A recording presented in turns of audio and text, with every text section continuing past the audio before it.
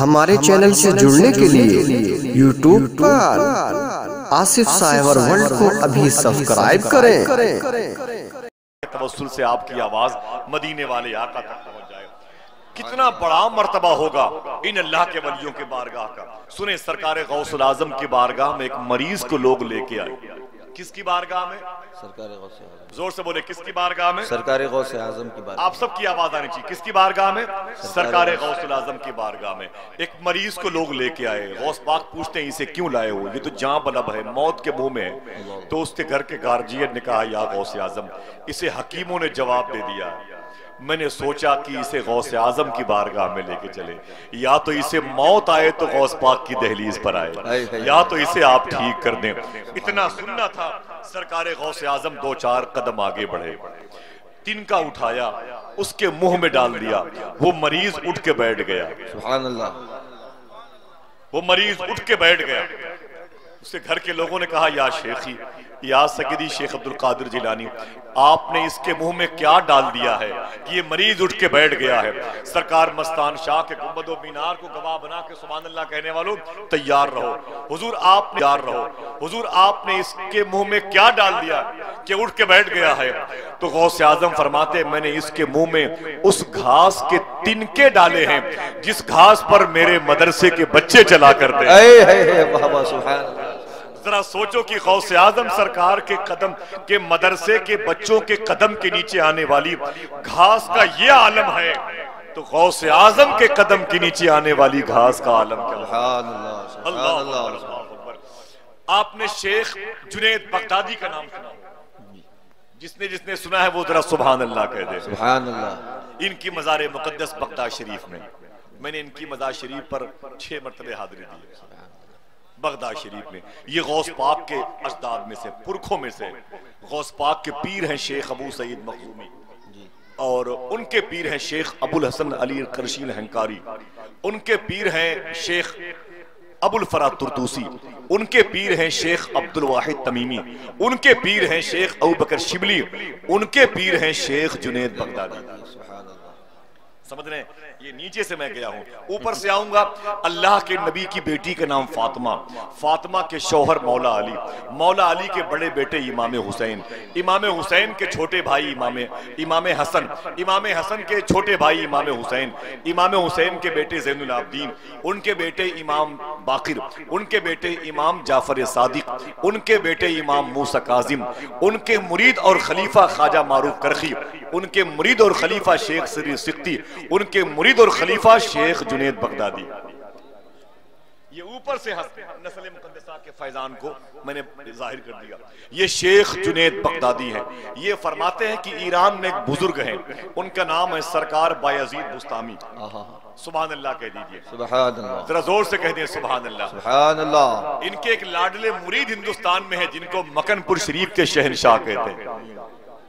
ذرا سوچو کہ جب بیٹے کا یہ عالم ہے یعنی لاڈلے کا اور خلیفہ اور مرید کا یہ عالم ہے تو پیر کا عالم کیا ہوگا؟ سرکار بیعزید بستامی کے بارے میں شیخ جنید بغدادی فرماتے ہیں کہ جیسے فرشتوں میں جبریل کا مقام ہے ویسے ہی اللہ کے ولیوں میں بیعزید بستامی کا مقام ہے۔ اللہ اکبر بایزید بستامی کا مقام ہے۔ ایران میں ایک شہر ہے بستام شریف وہیں پر یہ آرام کر رہے ہیں۔ وہیں پر۔ بھی اتنے بڑے بزرگ تھے، اندازہ لگا لیں۔ میں گزارش کرتا ہوں، بھائی حافظ قاری سلمان صاحب سے وہ تشریف لائیں۔ مقدس محفل کا حصہ بن جائیں۔ بس سنیں آپ، اتنے بڑے بزرگ ہیں، اندازہ لگائیں۔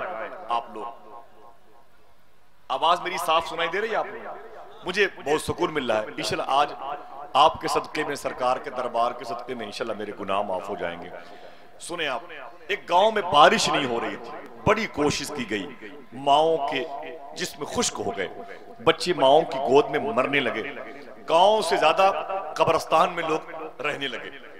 بوڑھے وقت سے پہلے موت کے منہ میں، جوان جوان نہ ہو پائے کہ موت کے منہ میں۔ عجیب و غریب ماتم کی فضا تھی۔ لوگ بہت پریشان تھے۔ کئی سال ہو گئے بارش نہ ہوئی۔ ایک مطلب ایک اللہ کا ولی ادھر سے گزرا۔ تو کچھ لوگوں نے کہا کہ بابا، آپ کا چہرہ بتا رہا ہے، آپ مقبول ہے آپ دعا کر دیں یہاں بارش نہیں ہو رہی ہے۔ اس نے اپنے ہاتھوں کو اٹھایا۔ اور ہاتھوں کو اٹھانے کے بعد ہاتھوں کو اٹھانے کے بعد اس نے پتہ نہیں کیا کہا بارش ہونے لگی۔ سبحان اللہ سبحان اللہ اور زور سے کہہ سکتے ہیں سبحان اللہ بارش ہونے لگی۔ بارش ہونے لگی۔ اللہ اکبر۔ بارش ہونے لگی۔ لوگ خوشی میں ناچنے کودنے لگے۔ اور وہ اللہ والا اللہ کا فقیر آگے بڑھ گیا۔ جب آگے چلا گیا، لوگوں کو احساس ہوا۔ دوڑ کے آگے بڑھے، اسے روکا اس فقیر کو۔ اس کا دامن تھام لیا۔ بابا، کہاں جا رہے ہو؟ ٹھہر جاؤ۔ ہم لوگ کب سے دعا مانگ رہے ہیں؟ مائیں دعا مانگتی بچوں کے لیے قبول نہیں ہوتی۔ بوڑھے دعا مانگتے اولادوں کے لیے قبول نہیں ہوئی۔ ہم لوگوں نے مسجد کے مسلح کو آنسوؤں سے بھر دیا۔ بارش نہیں ہوئی۔ آج آپ نے کیا کہہ دیا کہ بارش ہونے لگی؟ جواب بتا دیں۔ ذرا ہاتھوں کو اٹھا کے بول دیں یا رسول اللہ۔ آج آپ نے کیا کہہ دیا کہ بارش ہونے لگی۔ سبحان اللہ۔ اس بزرگ نے کہا میں نے کچھ نہ کہا۔ میں نے صرف اتنا کہا اے میرے مولا بچپن میں جب میں چھ سال کا تھا تو میں نے تیرے ایک ولی کے چہرے کو دیکھا ہے۔ اگر وہ ولی تیری بارگاہ میں واقعی مقبول ہے تو اس کے صدقے میں بارش ہونی چاہیے۔ بس بارش ہونے لگی۔ لوگوں نے پوچھا کہ تم نے بچپن میں کس کو دیکھا ہے؟ اس نے روتے ہوئے کہا، میں نے بایزید بستامی کو دیکھا ہے۔ بایزید بستامی کو دیکھنے والے کے صدقے میں اللہ بارشیں فرما رہا ہے۔ اللہ اللہ اللہ۔ اس کا کرم نہیں تو اور کیا ہے؟ اس کا فضل نہیں تو اور کیا ہے؟ یہ اس کا احسان نہیں تو اور کیا ہے؟ اللہ اکبر اللہ اکبر۔ بس نعت کا ایک مصرع پڑھ دوں اور پھر محبت و احترام کے ساتھ اب جگہ بھی ختم ہو گئی ہے کہ ہم لوگوں کو بلائیں کہ آپ لوگ آ جائیے۔ یہ عجیب عجیب بارگاہ ہے اور عظیم بارگاہ بھی ہے۔ الحمدللہ رب العالمین۔ ابھی کسی نے نبی کی نعت نہیں پڑھی، بس ایک میرے محسن عالم دین نے تلاوت کی ہے۔ دو چار لوگوں کی بیٹھنے کی اور جگہ باقی رہ گئی ہے۔ یہ بھارت گن، یہ مرزا پور اور الہ آباد کے درمیان کا بسا ہوا یہ پاکیزہ کیمپس ہے، وادی نور ہے۔ یہ عظیم الشان اللہ کے دوست کی بارگاہ نور ہے۔ سرکار منور شاہ الہ آبادی کا فیضان یہاں بڑھتا ہے۔ الحمدللہ رب العالمین۔ دارا شاہ محمدی، دارا شاہ اجمل، دارا شاہ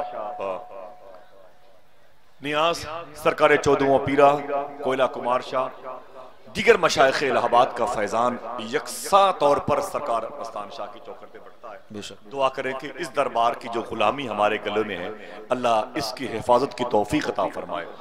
دل سے آمین کہہ دیں دل سے آمین کہہ دیں۔ یہاں آتے رہا کرو یہاں یہاں آتے رہا کرو۔ باپردہ مرد ماں بہنیں بھی آتی ہیں۔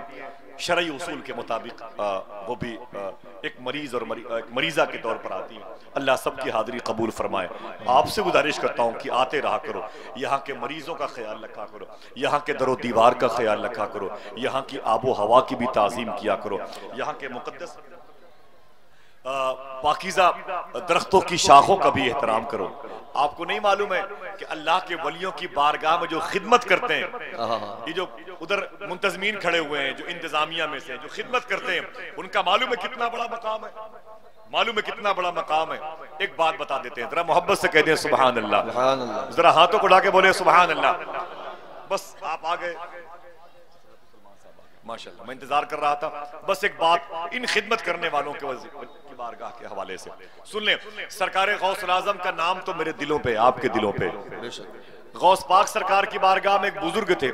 ان کا نام تھا شیخ بارقی۔ شیخ بارقی نام تھا۔ غوث پاک سرکار کی بارگاہ میں مہمانوں کو تیئیس سال تک غوث پاک کے مسجد کے کنویں سے پانی بھر بھر کے پلاتے تھے۔ کتنے سال تک؟ تیئیس سال۔ زور سے بولیں۔ تیئیس سال تک۔ ایک دن خیال آیا، اتنے دن ہو گئے۔ غوث پاک کے مہمانوں کو پانی پلاتے ہوئے۔ ایسا کرتے نا، اب بغداد سے کعبہ شریف جاتے ہیں، مکہ شریف۔ اب اللہ کے مہمانوں کو زمزم سے پانی بھر بھر کے پلائے گا واہ۔ یہ ارادہ لے کے غوث پاک کی بارگاہ میں آئے۔ یا شیخ عبد القادر اجازت دیجیے، میں نے تیئیس سال آپ کے مہمانوں کی خدمت کی ہے۔ اب میں مکہ شریف جانا چاہتا ہوں۔ اللہ کے مہمانوں کو زمزم کے کنویں سے پانی بھر بھر کے پلانا چاہتا ہوں۔ غوث پاک فرماتے ہیں، جاؤ، اجازت ہے۔ جب نکلے بغداد شریف سے، جب نکلے اکیلے تھے، تو ایک مسافر سے ملاقات ہو گئی۔ اس نے کہا، بابا، آپ کہاں جا رہے ہیں؟ تو بارقی فرماتے ہیں، میں مکہ شریف جا رہا ہوں۔ پھر بارقی فرماتے ہیں، آپ کہاں جا رہے ہیں؟ تو انہوں نے کہا کہ میں بھی مکہ شریف جا رہا ہوں۔ بولے تو بہت اچھا ہے، ایک سے دو ہو جائیں گے۔ دونوں بزرگ ایک دوسرے کو جانتے نہیں تھے، سفر شروع کر دیا۔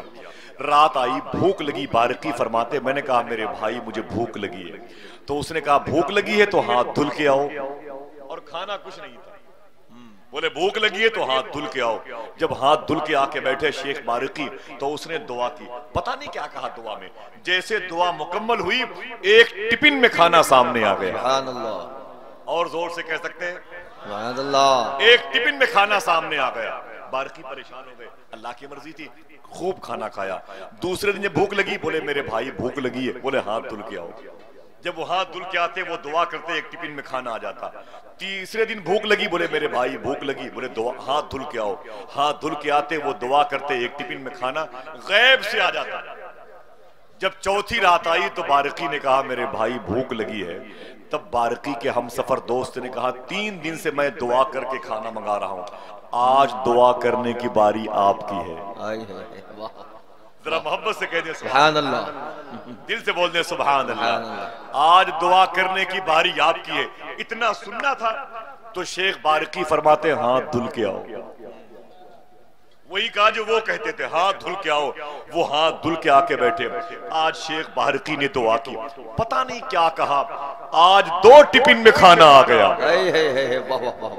روز ایک ٹفن میں آتا تھا آج دو میں۔ میں کھانا آ گیا۔ اللہ اکبر اللہ اکبر۔ جب دو ٹفن میں کھانا دیکھا تو شیخ بارقی کے ہم سفر نے شیخ بارقی کا ہاتھ پکڑا۔ کہا، ٹھہر جا میرے دوست، میں بھی تین دن سے دعا کر رہا تھا تو ایک ٹفن میں کھانا آتا تھا۔ تم نے کیا کہہ دیا دعا میں کہ دو ٹفن میں کھانا آ گیا؟ تو شیخ بارقی کہتے میرے بھائی کچھ نہ کہا۔ میں نے صرف اتنا کہا میرے مولا جس کے صدقے میں یہ تین دن سے کھانا منگاتے ہیں اسی کے صدقے میں پھر کھانا بھیج دے۔ اللہ اللہ۔ اسی کے صدقے میں پھر کھانا بھیج دے۔ یہ دو ٹفن میں کھانا آ گیا تو میں کیا کروں؟ اتنا سننا تھا وہ ہنسنے لگے۔ جب وہ ہنسنے لگے تو شیخ بارقی نے ان کا ہاتھ پکڑا۔ کہا یہ بتا میرے بھائی، تین دن سے تو کس کے وسیلے سے دعا کرتا ہے؟ تین دن سے تو کس کے وسیلے سے دعا کرتا تھا؟ اتنا سننا تھا۔ اس نے جو جواب دیا آپ کے دل کو ٹھنڈک پہنچا دے گا۔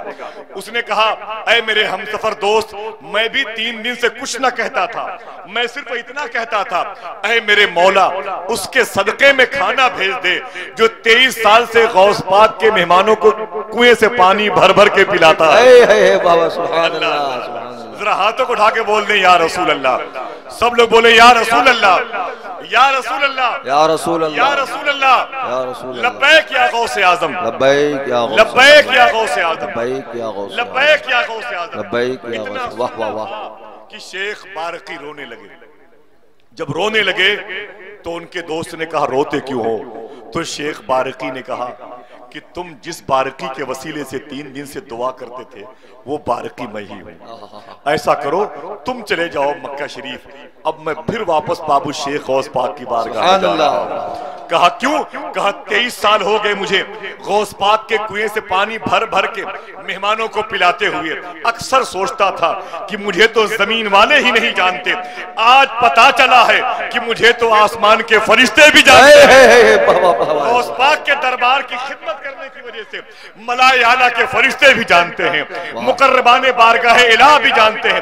ان کو اپنے بارے میں نہیں معلوم ہوگا لیکن خدا کی قسم اس دربار کی مینٹیننس کی فکر کرنے والوں کو اللہ کی رحمت کے فرشتے بھی جانتے ہیں۔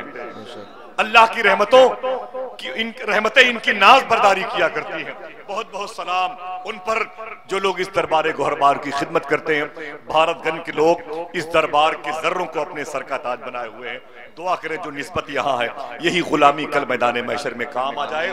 بڑے ادب اور احترام کے ساتھ میں ایک مصرع پڑھ دوں کہ سایہ کرتے ہوئے بادل بھی ادھر جاتے ہیں۔ واہ۔ سایہ کرتے ہوئے بادل بھی ادھر جاتے ہیں۔ میں سرکار سے جب لوٹ کے گھر جاتے ہیں اور حسن آقا کا قصیدہ ہے لبے یوسف پر دیکھنا یہ ہے خریدار کدھر جاتے ہیں۔ حسن آقا کا قصیدہ ہے لبے یوسف پر۔ دیکھنا یہ ہے خریدار کدھر جاتے ہیں۔ جناب عزت مام محترم حافظ و قارم سلمان رضا صاحب سے میں گزارش کرتا ہوں وہ تشریف لائیں۔ اور بیرونی شورائے کرام سے گزارش کرتا ہوں کہ وہ بھی جلد ممبر شریف کے قریب تشریف لائیں۔